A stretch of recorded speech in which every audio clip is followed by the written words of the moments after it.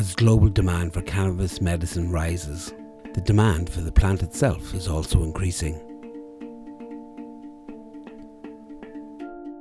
There are certain places where the climate and soil are suited to the cannabis cultivation, and Ireland is one of those places.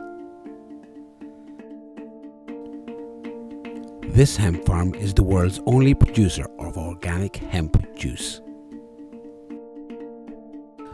Dara has come to Monaghan to meet Marcus from Kama Hemp